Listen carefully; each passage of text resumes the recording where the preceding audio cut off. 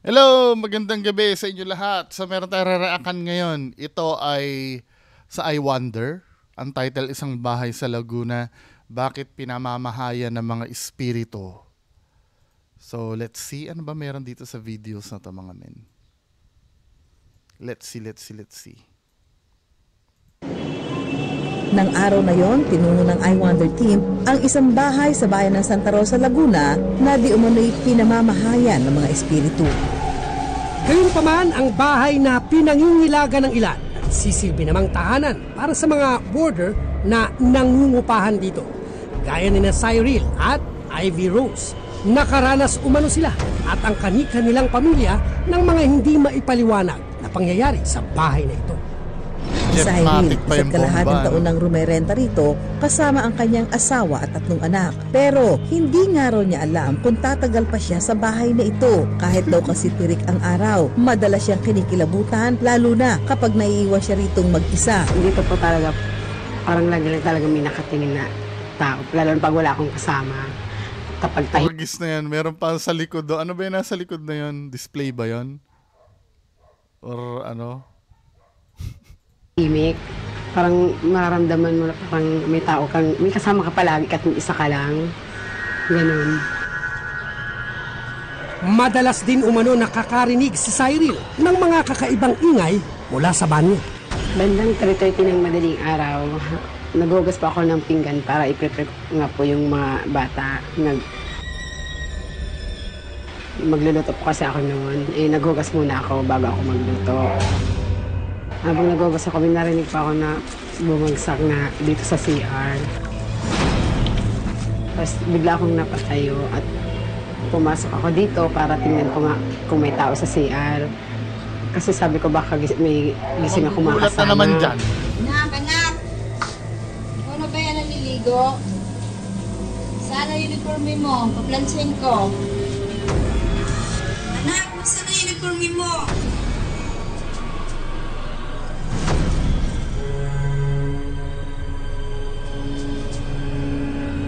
Kwento rin ni Cyril, minsan naman daw, may naririnig siyang kumakalampag sa kanilang kusina.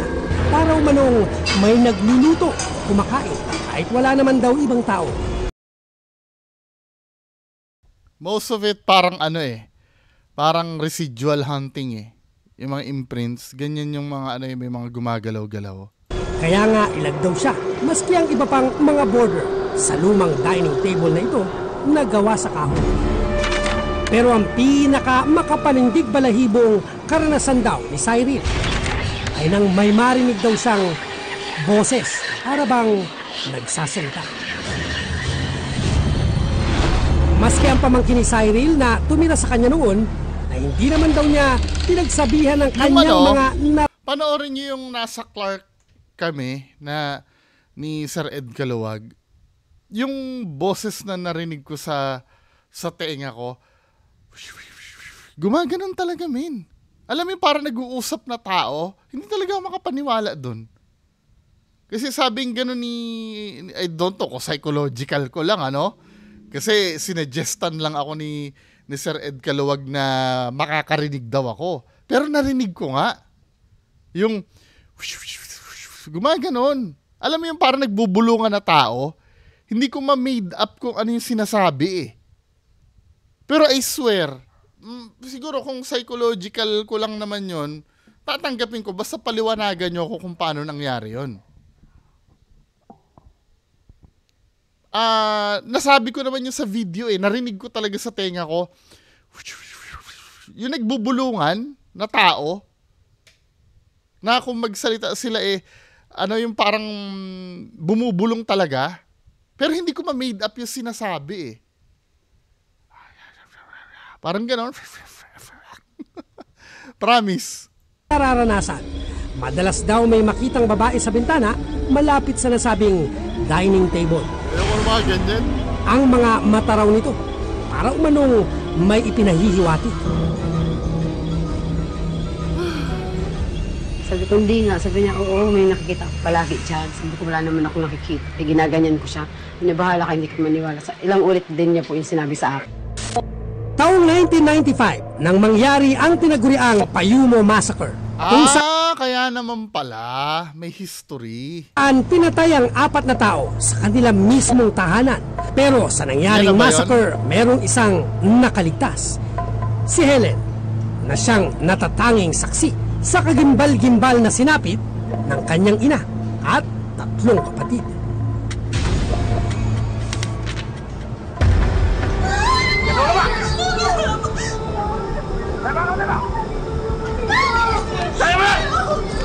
Ito mga ah. Anong ingay yun? September 9, 1995, bigla na lang po ako nagising. Ah, dahil nagkakagulo po ang mga kapatid ko at ang mami ko. Umihiyaw po sila na parang takot na takot.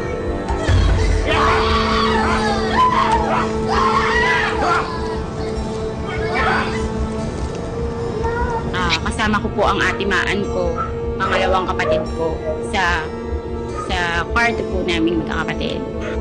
Lalabas na sana ng kwarto ang kapatid niya si Maan para alamin ang nangyayari. Pero pinigilan daw ito ni Sweet. Sabi ko, ate, saan ka pupunta? Sabi niya sa akin, pabayaan mo ako. Hanggang sa nakalabas na po siya ng kwarto. That time po, ah, bumalik po ako dun sa higaan ko. Ah, hindi ko po alam kung anong gagawin ko noon.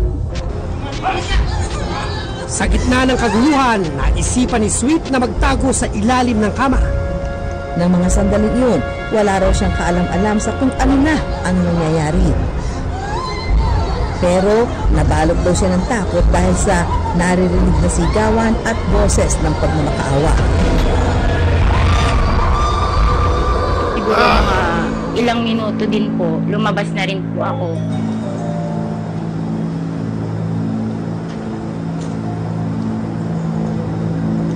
Hanggang sa paglabas po ng kwarto, nakita ko na po na ano, na nakahando sa yung mga kapatid ko at ang mami.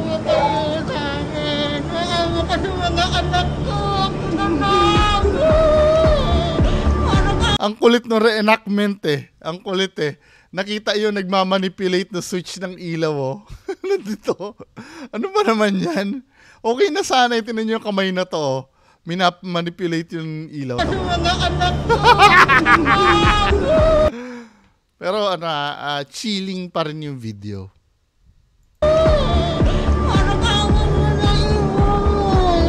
Ako na lang. Ako ang mga anak ko. Tinalian po ako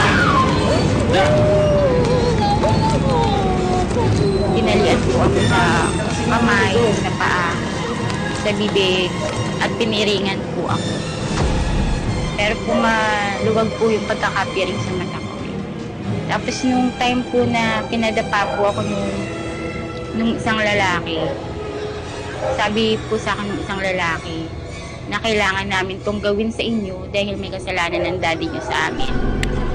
That time po, dun din po nagsalita ang mami ko which is nag ano po siya, nagbanggit po siya ng pangalan. Pangalan ng isang lalaki na hindi na rin po iba sa amin dahil ah, kaibigan po ito ng daddy. Bali po, nung lahat po kasi na nakatali na po kami lahat, kinaladkad po kami, si Mami, si Ate Joanne, si Ate Maan, ako, kinaladkad po kami sa master bedroom.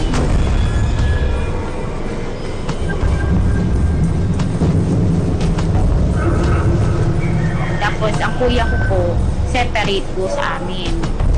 Sa, ano po siya, sa CR po. Una pong sinaksak, mami. Tapos, ati, ati Joanne, ati Maan, tapos ako po. Nakita ko po lahat yon kasi maluwag po sa, maluwag po yung pagkakapit. Ah! Na. Pagkatapos pagsasaksakin ng kanyang ina at mga kapatid. Kaya lagi mag-iingat maglalak ng pinto. Huwag matigas ang ulo. Anak ng patola. Masyado kayong tiwala sa sarili nyong bahay. Sweet naman, pinahinga ng suspect. Nagtamo siya ng isang saksak sa leeg.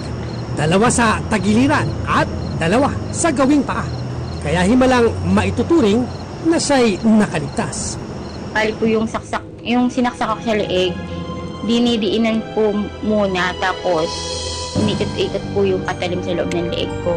After po noon, ano, ah, nagpatay-patayan na po ako. Kunyari po, hindi na ako humihingi. Dahil sa mga natamong saksak, na-comatose noon si Sweet at mula na magkamalay daw siya sa ospital, madalas na raw niyang napapaniginipan ang kanyang pamilya. Trauma yan eh. Nananaginip po ako palagi na sila mami, ate Joan, ate Maan, kuya ko ay nasa bahay lang po namin. Nasa terrace po. Sa panaginip ni Sweet, madalas daw na nakasuot ng puting damit ang kanyang pamilya habang naglilinis. Kalaunan, positibong kinilala ni Sweet ang mga sospek at hinatulan ng mga ito ng 4 counts ng murder at 1 count ng frustrated murder. Ang parusa, habang buhay na pagkakakulong. Death penalty dapat, ano. Dito ngayon nangungupahan si Cyril kung saan nakakaramdam umano siya ng mga kababalaghan. I wonder, may kinalaman kaya ang kanyang mga nararanasan sa nangyari Saan kaya itong bahay na to? Mapuntahan nga. ritong krimen? Sir I am Reverie! Tara na!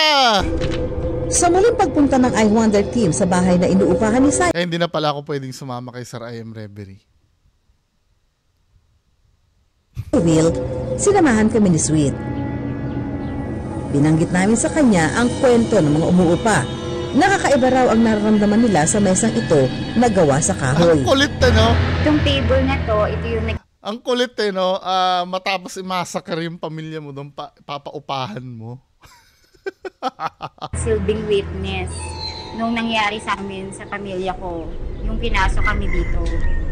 Ah, 21 years na tong table na to, since 21 years na rin yung nakakaraan na nangyari sa pamilya ko yun. Oh, fuck.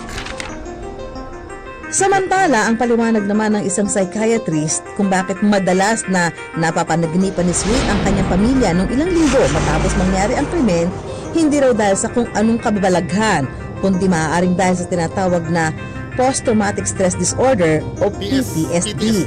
Nararanasan daw ito ng sino mang nakaranas ng matinding trahedya. Katunayan, dumaan nga raw noon si Sweet sa psychological treatment hanggang sa malagpasan daw niya ito. Very good, very good. Isa rin sa mga kasalukuyang umuupa sa bahay kung saan naganap ang Payungo Massacre, si Ivy Rose at ang kanyang pamilya. Magtatatlong buwan pa nga lang daw sila rito, pero maging sila, Siguro, siguro ang upa dyan, 500 pesos a month, ano? Kaya pinatos na. nakararanas na rin daw ng mga kababalaghan sa nasabing bahay. Yung unang ano po namin dito, tulog nung unang dating namin. Yung pag matutulog kami, tapos bandang mga madaling araw, parang may dumalagan sa akin mabigat. Bali, nangyari po yun mga dalawang linggo na.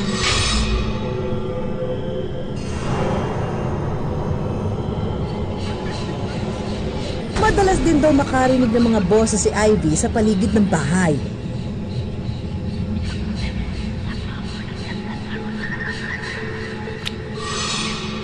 Ano mga reenactment na ganyan eh. First time na parang Ang mismong ako, anak no? nga ni Ivy, Na may mag- nakita umanong multo sa nasabing bahay. Nung one time din, nagsabi siya na mamamumuk daw sa labas, doon sa may bandang puso, doon. Sabi niya may dugo, may dugo daw yung nakikita niya. Isang gabi, nang minsang hindi raw makatulog si Ivy, bigla na lang din daw nagising ang kanyang asawa. Mga bandang madaling araw din po yon. Akala ko po ako lang ang nakakaramdam na parang may nakatingin sa amin sa bintana ng maraming tao. Tapos yung pala, nagulat din siya kasi ano, pagtingin daw niya, mayroon din, mayroon din daw nakatingin sa kanya.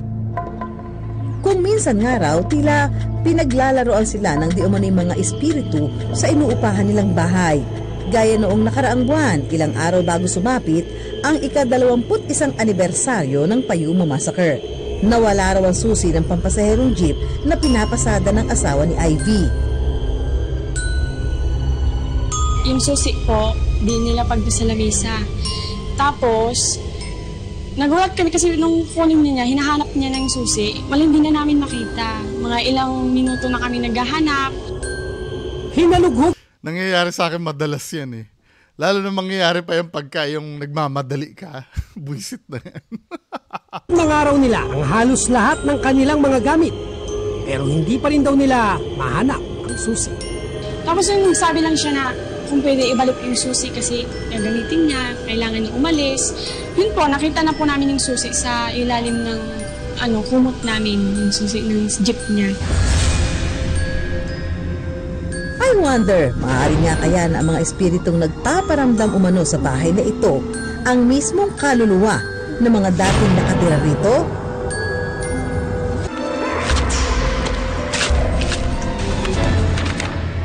Para alamin ang misteryo sa likod ng mga sinasabing pagpaparamdam, Yan, inilapit yan. namin ang kasong ito sa paranormal expert na si Jericho Ibanez. Sa pagkakataong ito, hindi niya gagawin ang investigasyon sa loob ng mismong bahay. Ang pamamaraan daw na kanyang susubukan ang tinatawag na remote viewing. Kasi ano eh, parang emotional early dun sa kusina. Unang pa, Hindi ano to, dapat puntahan. Parang kusina ba yun, unang pasok niya. May nabibrate ako na ano parang pinisil yung ilong. Yung Parang yung ah ginawa silang manika, parang gano'n, yung laruan. Inaccurate sinaksak sila men. Hindi ano. Yung emotions niya. Importante kasi no, pagka gagawa ng mga ganyan psychic readings, importante hindi dahil pinagdududahan mo no. Importante kasi na wag magkikwento ng ng history nung ano nung nung papaimbestigahan. Katulad niyan ano, pinisil daw ang ilong. I mean, may pinisil ba ang ilong doon? Eh pinagsasaksak yun eh. Hindi ko kung spirit yung tatlong Tama. Pag nagsalita ng hindi ko alam kung ano, nanghuhula siya. I'm so sorry ha. 'Di ba? Ako para sa akin lang if ever may power ka na na ganyan man, dapat ano eh, ah sure ka sa sinasabi mo eh. Kasi kung palaging sasabihin mo katulad ni Jay Custor na hindi ko alam kung ano hindi ko alam, lahat tayo pwede naman natin gawin 'yan. Dahil literal na nang huhula 'yan min eh. yun. Yung parang umatake, um, iba nakita ko. Wala, hindi niya ma... Parang hindi niya ma... Ano. Anong demonic? Eh, may... may pinatay na pamilya doon ni Min eh. Anong demonic na naman ang pinagsasabi mo? Um, features eh. Wala. Walang kwenta. Yun na yon.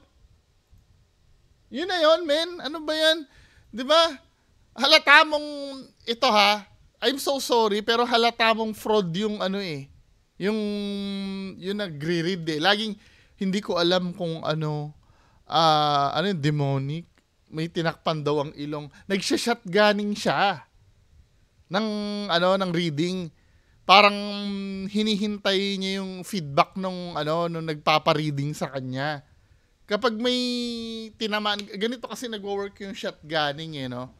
Let's say ako yung maghuhula, lahat i-scan ko.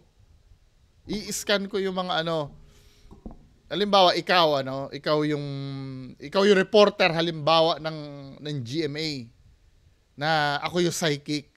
I-shotgun kita. Papakiramdaman ko yung reaction mo sa mga sasabihin mo. Sasabihin ko na alam mo parang ito lugar na to mabigat ang nararamdaman ko. Parang may kakaiba dito eh. I don't know kung may nangyari dito. Or may nagpaparamdam. Tinitingnan ko yung, yung reaction mo. Parang nakakaramdam ako ng ano eh, ng ng yung katulad na sinabi niya ano, yung parang pinipisil daw ang ilong or or sinasakal.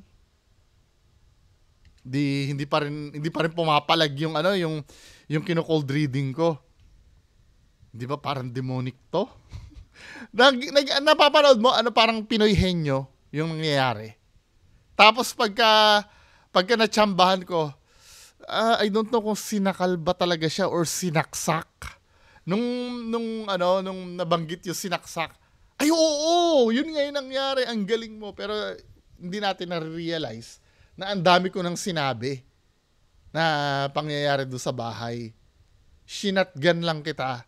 At yung mga tumama doon sa doon sa sinabi ko, yun doon ka lang nag-stick. 'Di ba, men? Kaya yung remote viewing, remote viewing na yon na ginawa na yon siguro may nakakagawa naman talaga nun. Kasi hindi naman masasabi yung technique na yon kung ano eh, kung, kung wala nakakagawa nun. Meron naman siguro na nakakagawa ng remote remote viewing na yon Pero hindi ako naniniwala dun sa napanood ko na yon I'm so sorry. Hindi niya precise na na ano eh. 'Di ba? Hindi niya precise na nasabi. Wala siya na mention na nasaksak, na namasaker. 'Di ba? Hindi kayo bahala kayo no, basta ako hindi naniniwala. Kung naniwala kayo, go ahead. Wala namang pumipigil sa inyo. Maniwala kayo pero ako hindi. So yun lang po muna. Maraming salamat. Bye-bye.